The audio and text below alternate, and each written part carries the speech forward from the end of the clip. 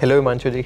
Hello Devam कैसे हैं आप? बढ़िया आप बताइए आप कैसे मैं एकदम बढ़िया. आजकल मार्केट्स में इतने सारे रिटेल निवेशक आ गए हैं. हम्म। तो आप क्या इन्वेस्टमेंट्स कर रहे हैं आजकल कहीं? मैं कुछ शेयर खरीद रहा हूँ. कुछ मैंने पोर्टफोलियो बना के रखा है जिसमें है कई सारे शेयर हैं अच्छी कंपनियों के.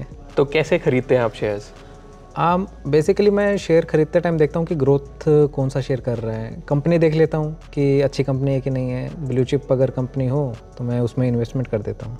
तो आपका ज़्यादातर इन्वेस्टमेंट्स ब्लू चिप की तरफ़ है। हाँ बेसिकली तो आपने ये कैसे डिसाइड किया कि मैं ब्लू चिप ही खरीदूँगा या मैं स्मॉल कैप मिड कैप नहीं खरीदूँगा? क्या आपने अपना फाइनेंशियल गोल का एनालिसिस किया? अच्छा मैं ना एक रिटेल इन्वेस्टर हूँ। तो मेरे दिमाग में ये रहता है कि मेरा जो पैसा है वो सेफ़ रहे और रिटर्न आता रहे। तो रिटर्न आता रहे और रिस्क कम हो तो इसलिए मैंने ब्लू चिप चुन लिया कि चलो पैसा लगाना तो उसी में हम लगा देते हैं। तो सबसे पहले ना जब हम अगर इन्वेस्टमेंट्स करते हैं तो सबसे पहले हमें ये देखना चाहिए कि आ, क्या मेरी इन्वेस्टमेंट्स इन्फ्लेशन को बीट कर पा रही है? जैसे तो मैंने कभी सोचा नहीं। जैसे इन्फ्लेशन अगर सपोज़ करिए हमारे आज की डेट में आठ परसेंट से दस परसेंट इन्फ्लेशन है हाँ। तो क्या मेरे अगर आज सौ रुपए हैं और अगले साल उस सेम चीज़ को खरीदने के लिए मुझे एक सौ दस रुपये लगेंगे तो क्या एटलीस्ट मेरी इन्वेस्टमेंट मुझे एक सौ दस रुपये बना के देगी उस सौ रुपये का अगले साल? ये इतना मैंने सोचा नहीं। आप मुझे थोड़ा डिटेल में बताओ क्या कर, कर सकता हूँ मैं इसके लिए? तो आपको इन्वेस्टमेंट सेलेक्ट करने से पहले सबसे पहले आपको अपने बारे में जानना है कि आपका नेचर क्या है। आपको आप एक हाई रिस्क टेकिंग इन्वेस्टर हो या आप एक लो रिस्क टेकिंग इन्वेस्टर हो या आपका एक रिस्क एपेटाइट ज़्यादा है कि कम है या आपके फाइनेंशियल गोल्स क्या है। सपोज़ करिए आपके फाइनेंशियल गोल्स ऐसे हैं कि आपको अगले पाँच साल में उस पैसे की ज़रूरत है। तो आप एक अलग तरीके से बिहेव करोगे। सपोज़ करिए आप उस पैसे की ज़रूरत आपको अगले छह महीने में है तो आप अलग तरीके से बिहेव करोगे। बिल्कुल। तो आपको अपने बारे में जानना है सबसे पहले। उसके बेसिस पे आपको अपनी इन्वेस्टमेंट स्ट्रैटेजी बनानी है। अच्छा पहले मैं ये जान लूँ कि मुझे उस पैसे का क्या करना है जो मैं लगा रहा हूँ और मुझे कितना रिटर्न चाहिए। हाँ जी। फिर मैं कोई कंपनी चुनूँ जिसमें मैं पैसा इन्वेस्ट करूँ। हाँ जी। अच्छा तो इसमें जैसे मैं मान लो कि पैसा इन्वेस्ट कर रहा हूँ तो क्या मुझे फोकस में चीज़ें रखनी चाहिए? मैनेजमेंट को लेकर या कंपनी को लेकर? तो सबसे पहले तो आपको अब 6000 स्टॉक्स से ज़्यादा का यूनिवर्स है। बहुत है। तो आप कैसे सेलेक्ट करोगे कि मुझे किस कहाँ इन्वेस्ट करना है? आप सारे 6000 तो नहीं खरीद सकते। आप ज़्यादा से ज़्यादा 10 स्टॉक्स या 20 स्टॉक्स का एक पोर्टफोलियो बनाएँगे। तो वो 20 स्टॉक्स सेलेक्ट करने के लिए आपको वो 6000 स्टॉक्स को अ, एक ब्रॉडर वे में रिसर्च करना है या उनमें से अपने वो 20 स्टॉक्स सेलेक्ट करने हैं। रिसर्च का पॉइंट तो हाँ जी। तो वो करने के लिए सबसे पहले आप एक स्क्रीनिंग की एक्टिविटी करते हो। तो आप कुछ पैरामीटर्स डिफाइन करते हो। सपोज़ करिए जैसे अगर मेरा अगर क्राइटेरिया ये है कि भाई मुझे अगले पाँच साल के लिए इन्वेस्ट करना है और मेरा एक्स गोल है कि मैं मैं एक यंगस्टर हूँ मैं थोड़ा सा रिस्क ले सकता हूँ और मेरे को मिड कैप स्मॉल कैप में इन्वेस्ट करना है। तो मैं कुछ स्क्रीनर के क्राइटेरिया लगाऊँगा कि कुछ ऐसी कंपनियाँ जो हाई ग्रोथ में है अगले चार पाँच साल में बहुत ज़्यादा ग्रोथ दे देंगी। कुछ ऐसी कंपनियाँ जिसमें डेट कम है आ, आ, वो वो मैं देख सकता हूँ। कुछ ऐसी कंपनियाँ जहाँ पे ऑपरेटिंग मार्जिन जो कंपनी के मार्जिन है वो डबल डिजिट हैं ताकि अगर जैसे सपोज़ करिए अगर इन्फ्लेशन आया तो मेरी कंपनी लॉसेज में ना जाए हाँ। तो मैं ऐसे क्राइटेरिया लगा सकता हूँ। अच्छा। या मैं मार्केट कैप जो कंपनी की ओवरऑल वैल्यू है अगर मेरे को मिड कैप स्मॉल कैप में जाना है तो मैं मार्केट कैप पे क्राइटेरिया लगा सकता हूँ कि भाई पाँच हज़ार करोड़ से नीचे की मार्केट कैप की कंपनी होनी चाहिए। अच्छा। अगर मुझे लार्ज कैप में जाना है तो मैं क्राइटेरिया लगा सकता हूँ कि जी पच्चीस हज़ार करोड़ से ज़्यादा की मार्केट कैप की कंपनी होनी चाहिए। तो मैं पूरे छह हज़ार कंपनियों को स्क्रीन करके देख सकता हूँ कि पहले कौन सी सौ कंपनियाँ वो है जहाँ पे मुझे फर्दर स्टडी करने की ज़रूरत है। ठीक है। तो सबसे पहले तो मैंने स्क्रीनिंग कर ली। स्क्रीनिंग कर ली मैंने। फिर उसके बाद स्क्रीनिंग करने के बाद मैं उसमें फर्दर डीप डाइव करूँगा। है ना? मैं उसमें भी अच्छा मतलब पहले मैंने 6000 में से 100 कंपनी ऐसी स्क्रीनिंग करके मैंने साइड में रख ली। हाँ जी। अब मुझे उस सौ कंपनियों में और मुझे रिसर्च करनी हाँ जी। अच्छा। उसमें भी मैं देखूँगा कि अच्छा अब ये सौ में से मुझे खरीदने तो दस या बीस ही है। तो वो दस या बीस को मैं देखूँगा कि अच्छा वो कंपनी कौन से सेक्टर की है। अ, अच्छा कुछ सेक्टर्स बहुत अच्छा करें जैसे आज की डेट में पीएलआई स्कीम आई है गवर्नमेंट की या make in India China plus one तो उसके तहत गवर्नमेंट बहुत ज़्यादा इंसेंटिवाइज कर रही है आ, इंडियन लोकल एंटिटीज़ को जो जहाँ पे हमारी नो हाउ अच्छी है। अच्छा। जैसे सपोज़ करिए टेक्सटाइल सेक्टर को बहुत प्रमोट किया जा रहा है। सपोज़ करिए केमिकल्स फार्मा ऑटोमोबाइल कंपोनेंट्स ऐसे कई सारे सेक्टर्स हैं जहाँ पे गवर्नमेंट चाहती है कि इंडिया चाइना से इंपोर्ट रेस्ट्रिक्ट करे और बाहर एक्सपोर्ट करे। तो आप सेक्टर वाइज आप सेलेक्ट कर सकते हो कि अच्छा इन सौ कंपनीज़ में से कुछ मेरे फेवरेट सेक्टर्स हैं और मुझे प्रॉपरली डाइवर्सिफाई करना है उन सेक्टर्स में। तो मैं उस उस हिसाब से मैं कुछ कंपनियाँ और सेलेक्ट करूँगा। मैं उसमें से और स्क्रीन कर दूँगा। मैं अब सौ कंपनियों को सेलेक्ट करने के बाद में अब मैं सेक्टर पे आ जाऊँ हाँ जी। कि मुझे कौन कौन सा सेक्टर आने वाले टाइम में ग्रोथ देता हुआ दिख रहा है। हाँ जी। अब वो सेक्टर की मैं चूज़ कर लूँ। हाँ जी। ठीक है जी। अब मैंने सेक्टर सेलेक्ट कर लिया। अब कई ऐसे होंगे जैसे सपोज़ करिए मुझे केमिकल सेक्टर अच्छा लगा और केमिकल सेक्टर में मुझे पाँच कंपनियाँ मेरे स्क्रीनर में आ गई। हम्म। है ना? तो उसमें से मैं सेलेक्ट कर अब मैं सारी पाँचों केमिकल नहीं डालूँगा क्योंकि मैं ज़्यादा से ज़्यादा अगर मैं 20 स्टॉक का भी पोर्टफोलियो बना रहा हूँ तो मैं ज़्यादा से ज़्यादा दो या तीन स्टॉक्स केमिकल के ले लूँगा। परसेंट वाइज उसमें डाल दूँगा परसेंटेज वाइज ले लूँगा। तो अब मेरे को उन पाँच में से वो दो या तीन केमिकल स्टॉक्स में भी निकालने हैं स्क्रीनिंग में। ताकि मैं उसमें फर्दर अंदर घुस सकूँ। तो अगर वो करना है तो मैं और क्या चीज़ें देख सकता हूँ? जैसे मैं मैनेजमेंट देख सकता हूँ हाँ। कि इसमें भी कुछ एक बहुत अच्छे पेरेंटेज वाली मैनेजमेंट की कंपनी है कुछ कम पेरेंटेज वाले मैनेजमेंट की कंपनी है। आ, कुछ का ट्रैक रिकॉर्ड बहुत अच्छा रहा है निवेशकों को बहुत अच्छा रिवॉर्ड किया है इन द पास्ट तो मैं उस तरीके से इन द सेंस किस चीज़ में जैसे आपने बहुत अच्छी ग्रोथ दिखाई स्टॉक में अच्छा। या आपने डिविडेंड दिया रेगुलरली इन्वेस्टर को है ना? तो आप वो अगर ऐसे टाइप की मैनेजमेंट जो बहुत अच्छी है और वो मुझे उस पर ट्रस्ट ज़्यादा है। तो मैं ऐसे करके भी स्क्रीन कर सकता हूँ। ठीक है। है ना? इसी तरीके से और भी बहुत सारे तरीके हो सकते हैं। मतलब ये एक, एक कुछ तरीके हैं जो मैं आपको एक लेमन टर्म्स में आपको बताना चाह रहा हूँ। जैसे मैंने सेक्टर चूज़ कर लिया हाँ उसके बाद मैं ग्रोथ देख सकता हूँ किसी कंपनी की कि वो ग्रोथ वाइज कैसी है डिविडेंड देने में वो कंपनी कैसी है। और दूसरा चीज़ मैं प्रोमोटर के लिहाज से देख सकता हूँ। हाँ जी। तो अगर मैं प्रोमोटर के लिहाज से और डीप डाइव करूँ तो उसमें क्या क्या मुझे फैक्टर है जो मुझे ध्यान में रखने चाहिए? तो आपको देखना है कि प्रमोटर की होल्डिंग कितनी है कंपनी में। स्किन इन द गेम कितना है। कई ऐसी कंपनी है कंपनियाँ फेस वैल्यू पे बहुत अच्छी लगती है लेकिन प्रमोटर की होल्डिंग दस बीस परसेंट ही है। अच्छा। या प्रमोटर की होल्डिंग है वो प्लेस्ड है सारी। मतलब आपने उसके अगेंस्ट लोन ले रखा है और आपको आप कभी भी वो कंपनी गवा सकते हो अगर आप आपका अगर कंपनी अच्छी परफॉर्म ना करी और आपने लोन नहीं दे पाए तो आप कभी वो कंपनी गवा गवा सकते हो एज प्रमोटर मान लीजिए कि प्रोमोटर की किसी में होल्डिंग कम है दस बीस परसेंट है हाँ जी। तो हमें क्या सोचना चाहिए? अगर किसी ने लोन ले रखा है अपने पे तो हमारा दिमाग किस तरफ़ चलना चाहिए? तो आप ये सोचिए कि अगर सपोज़ करिए मेरी किसी बड़ी कंपनी में मेरी खाली दस परसेंट होल्डिंग है एज अ प्रमोटर तो मेरा स्किन इन द गेम नहीं है। तो अगर कल को कुछ कंपनी नुकसान कर रही है हम्म, तो मैं मेरा उसमें बहुत ज़्यादा मुझे नुकसान होता हुआ अपना पर्सनल नुकसान नहीं दिखेगा। अगर मेरा स्किन इन द गेम ज़्यादा है तो अगर कंपनी में कुछ भी होगा तो मुझे ज़्यादा पेन होगा।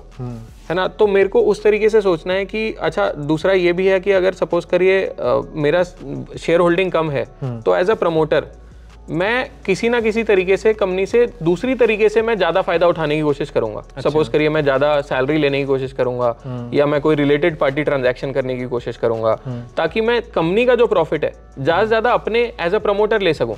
अगर यही मेरी शेयर होल्डिंग ज़्यादा है तो मेरे को इनडायरेक्टली या डायरेक्टली मेरे को ऐसे बेनिफिट आ ही रहा है। मेरे को डिविडेंड भी मेरे को आएगा इनकम भी मेरे को आएगी। तो मेरा स्किन इन द गेम ज़्यादा होने का फ़ायदा होता है। है ना? तो अगर आप सपोज़ करिए 10 परसेंट ओनरशिप है और कंपनी लॉसेस में जा रही है हाँ। तो हो सकता है मैं वो कंपनी छोड़ के भी अ, मैं किसी और जगह मूव हो जाऊँ इसमें रिटेल इन्वेस्टर्स को नुकसान हो सकता और हमने अभी जैसे कुछ केसेस देखे कि कंपनी अक्वायर भी होने की कगार पे आ जाती है जो प्रमोटर आप क्योंकि आप एज ए निवेशक आप खाली कंपनी पे नहीं उसके बिज़नेस पे नहीं आप प्रमोटर पे भी पैसा लगाते हो। है हम्म, आपको प्रमोटर भी देखना होता है कि प्रमोटर कैसा है क्या वो इन कंपनी को रन कर पाएगा कि नहीं कर पाएगा कर पाएगा। पे हमने ध्यान दे दिया। इनके अलावा फिर और क्या क्या फैक्टर हो सकते हैं? तो इसके अलावा ना आपको जैसे आप जब आपने वो स्क्रीनिंग में वो कुछ कंपनियाँ आइडेंटिफाई करी जैसे सपोज़ करिए आपको 20 स्टॉक खरीदने आपने 30 40 कंपनियाँ आइडेंटिफाई कर ली स्क्रीनिंग में ठीक है। आप उसके बाद उन कंपनी में डीप डाइव करोगे। आप उस उन कंपनियों की फाइनेंशियल्स पढ़ोगे उनकी बैलेंस शीट पीएनएल पढ़ोगे उनके एनुअल रिपोर्ट्स पढ़ोगे। अच्छा मुझे इन पे भी ध्यान देना पड़ेगा बैलेंस शीट पे एनुअल रिपोर्ट पे। हाँ जी। अच्छा। तो वो पढ़ना बहुत ज़रूरी है। क्योंकि वो आपको एक ब्लैक एंड व्हाइट में आपको उस कंपनी का पूरा हिस्ट्री बताती है। आप सपोज़ करिए आप कोई बिज़नेस स्टार्ट करते हैं तो आप उस बिज़नेस के बारे में पूरी आरएनडी करते हैं कि ये अच्छा ये बिज़नेस मैं कहाँ खोलूँ? मुझे इसमें कितना फ़ायदा होगा? मेरे कितना कॉम्पिटिशन है? आप सब समझते हैं। तो इसी तरीके से बैलेंस शीट पीएनएल पढ़ते हैं आप एनुअल रिपोर्ट पढ़ते हैं डायरेक्टर की कॉमेंट्री पढ़ते हैं। तो आपको थोड़ा आइडिया लगता है कंपनी के बारे में। कंपनी पिछले अभी पिछले कुछ सालों में किस डायरेक्शन में गई और उसने आ, क्या ग्रोथ करी क्या इन्वेस्टर को रिवॉर्ड किया नहीं किया आप उससे पता चला पल, चल सकता है आपको। है। अच्छा कई बार रेड फ्लैग हमें वर्ड मार्केट में सुनने को मिलता है। हाँ। तो वो क्या चीज़ होता है? वो भी पोर्टफोलियो में काफ़ी हद तक मायने रखता है। तो बहुत मायने रखते हैं। तो जब आप जैसे किसी स्टॉक में जैसे सपोज़ करिए आपकी कंपनी में यूजुअली हम टैक्स अगर देखें तो टैक्स पच्चीस बीस पच्चीस परसेंट का टैक्स यूजुअली कॉर्पोरेट देते हैं। ठीक है। On an average on the overall revenue अब आप देखिए कि कुछ कंपनियाँ सपोज़ करिए कई सालों से 10 परसेंट का टैक्स दे रही है और उनकी पीएनएल में वो हमें पता चल रहा है। तो कुछ रीजन होगा जो अ, वो 10 परसेंट दे रही है और बाकी सब 20 परसेंट दे रहे हैं। सपोज़ करिए एक कंपनी है जिसका मार्जिन इंडस्ट्री का मार्जिन है दस से बारह परसेंट ठीक। और एक कंपनी उसी इंडस्ट्री में पिछले कई सालों से चार पाँच परसेंट का मार्जिन दे रही है। मतलब कोई तो रीजन होगा कि पूरी इंडस्ट्री बारह परसेंट का मार्जिन कमा रही है आपकी कंपनी खाली चार या पाँच परसेंट का मार्जिन कमा रही है। तो कम क्यों है? तो आपको वो अ, कहते हैं ना पूत के पात पालने में दिख जाते हैं। तो आपको वो चीज़ें देखनी होती हैं कि आ, आ, आप वो कंपनी किस डायरेक्शन में जा रही है आपको इन छोटी छोटी चीज़ों से पता चलता है। अच्छा। सपोज़ करिए कंपनी कुछ प्रॉफिट कमा रही है मुनाफा कमा रही है हर साल। है। वो कंपनी या तो आपको वापस एज अ डिविडेंड देगी एज ए निवेशक आपको शेयर होल्डर को वापस डिविडेंड के फॉर्म में वापस कर देगी वो पैसा जो कमाया उसने। या फिर वो कंपनी अपनी ग्रोथ के लिए एक्सपेंशन के लिए कुछ इन्वेस्टमेंट्स करेगी। अगर कंपनी के पास कोई इन्वेस्टमेंट का कोई कोई नहीं कर रही और कुछ ग्रोथ उसे नहीं दिख रही कुछ इन्वेस्टमेंट्स करने के लिए उसके पास अपॉर्चुनिटी नहीं है और डिविडेंड भी नहीं दे रही हाँ। तो मतलब एक तरह से रेड फ्लैग हो गया अच्छा हमें इसका भी ध्यान रखना है कि इन छोटी छोटी चीज़ों का भी ध्यान रखना है। तो आपको एज ए निवेशक आपको सबसे पहले बैलेंस शीट के कुछ एस्पेक्ट्स देखने हैं कि आप उसे हम कहते हैं क्वांटिटेटिव एस्पेक्ट्स कि भाई कंपनी की गुडविल क्या है? क्या गुडविल उसकी बैलेंस शीट की वैल्यू से ज़्यादा तो नहीं है? या कंपनी के रेशियोज देखते हैं हम कि रेशियोज उसके कैसे हैं? कि भाई बहुत ज़्यादा डेट तो नहीं है कंपनी में।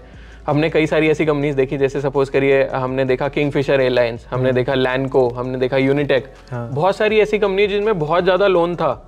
वो सरवाइव नहीं कर पाई जब इकोनॉमी में शॉक आया। बिल्कुल। तो आपको उस ऐसी टाइप की क्वांटिटेटिव चीज़ें देखनी ऐसी कंपनियों को चूज़ करने से पहले पूरा बैलेंस शीट देखनी पड़ेगी हाँ जी। कि भाई कितना उन पे बकाया है कितना उनके प्रमोटर की हिस्सेदारी है ये सब चीज़ें होंगी। हाँ जी। इनके अलावा और क्या क्या हो सकता है? इनके अलावा देखिए आपने जो बैलेंस शीट में आ गया हाँ। वो तो आपको ऑलरेडी प्राइज इन है स्टॉक में।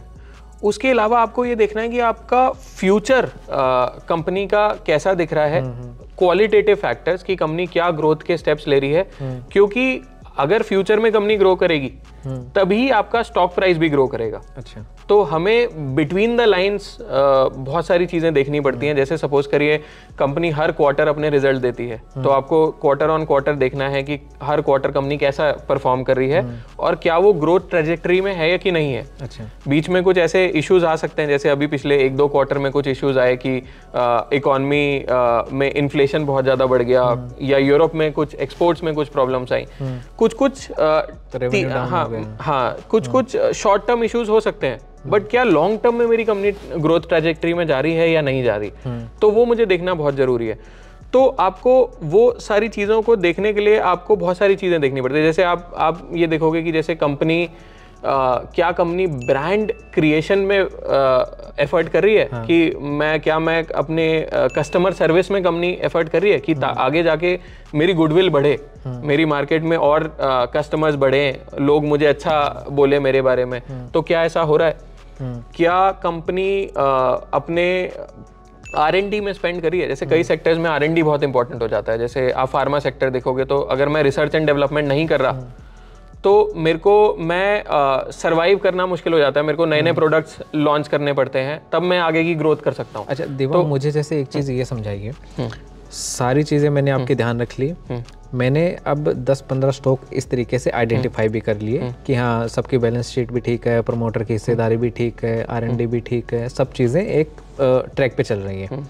लेकिन कई बार ऐसा हो जाता है कि उन 10-15 कंपनियों में से कंपनियों में से भी कई बार स्टॉक की वैल्यू अंडर वैल्यूड हो जाती है कई बार ओवर वैल्यूड हो जाती है। तो उस टाइम पे हमें क्या ध्यान रखना चाहिए? सबसे बड़ा इन्वेस्टमेंट में आपको करना है कि एक को एक तो आपको रेगुलरली उन कंपनीज़ को ट्रैक करना है। आपने इन्वेस्ट कर दिया तो आपका वहाँ काम खत्म नहीं हुआ। हाँ। वहाँ से काम आपका और चालू हो गया। तो मतलब आपको हर क्वार्टर अगर मैनेजमेंट की कॉन कॉल है आप वो कॉन कॉल अटेंड करिए। आप समझिए कि मैनेजमेंट क्या बोलना चाह रही है अपने बिज़नेस के बारे में इंडस्ट्री के बारे में क्या उसे आगे आउटलुक लग रहा है क्या एक्सपेंशन प्लान कर रही है आप उसे समझिए। आप कंपनी की फाइलिंग्स जो P N L balance sheet आ रहे हैं वो देखिए रेगुलर बेसिस पे। आप इंडस्ट्री को भी समझिए कि इंडस्ट्री कहाँ जा रही है। अगर मेरी अगर अगर इंडस्ट्री ग्रो कर रही है और मेरी कंपनी भी ग्रो कर रही है तो मेरे को डबल बेनिफिट मिलेगा। अच्छा। अगर मेरी कंपनी ग्रो करने की कोशिश कर रही है और इंडस्ट्री ग्रो कर ही नहीं पा रही तो मेरे को वहाँ पे नुकसान मतलब बहुत उतना बेनिफिट नहीं दिखेगा जितना होना चाहिए। तो आपको ये पूरा रेगुलर बेसिस पे स्टडी करना है। ठीक है। आपको इन्वेस्टमेंट भी ना डिसिप्लिन तरीके से करना है। सपोज़ करिए कई बार ऐसा होता है कि मार्केट किसी और कारण से गिर जाती है और मेरा मेरी कंपनी अच्छा कर रही होती है। तो अगर मेरी कंपनी अच्छा कर रही है और मार्केट गिर गई तो वो आपको एक ऑप्शन अपॉर्चुनिटी देता है कि आप थोड़े से एक्स्ट्रा पैसे लगा दो और इन्वेस्टमेंट और कर दो उसमें। और हाँ और आप वो सस्ते में जब स्टॉक्स गिरे गिरे हुए हैं आप सस्ते में थोड़ी सी और, और इन्वेस्टमेंट करके आप उसमें और वेल्थ क्रिएशन की अपॉर्चुनिटी बना सकते हो। है ना? तो या तो या तो मेरे को मुझे कंपनी वो पसंद है या नहीं है। अगर मुझे वो कंपनी पसंद है और वो कंपनी अच्छा कर रही है तो मेरे को एक एडिशनल अपॉर्चुनिटी मिल गई कि मैं उसमें थोड़ा सा पैसा और लगा के अपनी और वेल्थ क्रिएशन की अपॉर्चुनिटी बना सकता हूँ। ये तो बात हो गई हमारी पूरी पोर्टफोलियो की। हाँ हमने मान लीजिए दस शेयर का एक पोर्टफोलियो बना लिया सब चीज़ों को ध्यान में रखते हुए। अब बताइए कि वो कौन से मौके होते हैं? जब मान लीजिए कि कोई शेयर मुझे अपने पोर्टफोलियो में से निकालना भी पड़ गया बेचना पड़ गया तो किन मौक़ों पे हमें बेचने चाहिए वो शेयर? तो दो मौक़ों पे एक तो अ, सप, अ, एक तो अगर मैं किसी कारण से किसी कंपनी में इन्वेस्ट किया या कोई फंडामेंटल चेंज हो गया वो कंपनी में। सपोज़ करिए कोई मैंने किसी एक अच्छे एमएनसी पेरेंटेज वाली कंपनी में इन्वेस्ट किया। ठीक है। और वो मैनेजमेंट रातों रात वो कंपनी बेच के किसी अ, दूसरी इंडियन कोई प्रमोटर को बेच गई कंपनी।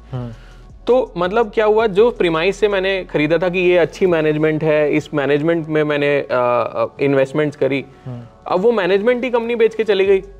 तो मेरा वो प्रीमाइस जिस प्रीमाइस से मैंने वो खरीदा था शेयर वो चेंज हो गया। तो हमें वहाँ पे रीथिंक करना चाहिए। हाँ तो रीथिंक करना चाहिए कि ये फंडामेंटल ही चेंज हो गया पूरी कंपनी का। तो मेरे को रीथिंक करना चाहिए। इसके अलावा? तो इसके अलावा सपोज़ करिए जैसे कंपनी का प्राइस ऊपर जाया जा रहा है। हम्म, तो एज एन निवेशक मुझे कहीं तो उसे एग्जिट करना है तो मुझे उसकी वैल्यूएशन रेगुलर बेसिस पे ट्रैक करनी चाहिए।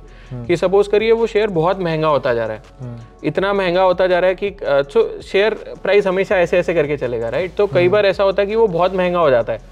तो उस टाइम पे एज अ डिसिप्लिन मुझे वो ग्रेजुअली करके एग्जिट कर देना चाहिए। अच्छा। अगर मेरे को ऐसा लग रहा है कि वैल्यूएशन ये तो बहुत महँगी हो गई है और मुझे इसके अलावा इसे अगर मैं बेचूँगा तो मुझे और सस्ते में और बहुत अच्छी अपॉर्चुनिटी मिल रही है। जाएँगे। तो मैं वो ग्रेजुअली उसे एग्जिट कर सकता हूँ। सपोज़ करिए हर 25 अ, हर 10 20 परसेंट रैली पे मैं 25 25 परसेंट करके अपना धीरे धीरे स्टैगर्ड मैनर में एग्जिट कर सकता हूँ। अच्छा दिवम ये तरीका काफ़ी एक वेल मैनर्ड होता है कि आप एक पोर्टफोलियो मैनेज करिए फिर आपको कब एग्जिट करना है उन चीज़ों का ध्यान भी रखिए। Exactly exactly. तो ये हमारे साथ आज थे दिवम शर्मा। दिवम ग्रीन पोर्टफोलियो के को फाउंडर हैं जिन्होंने आज आपको बताया कि आप कैसे आप अपना पोर्टफोलियो मैनेज कर सकते हैं और कैसे उससे टाइम आने पर एग्जिट भी कर सकते हैं। मैं हिमांशु कोठारी देवम आपका शुक्रिया। थैंक यू सो मच आप देखते रहिए जी न्यूज़